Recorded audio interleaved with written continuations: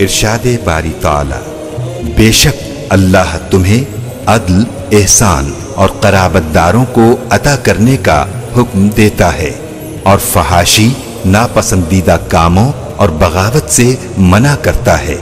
अल्लाह इस तरह तुम्हें नसीहत करता है ताकि तुम नसीहत पा सको।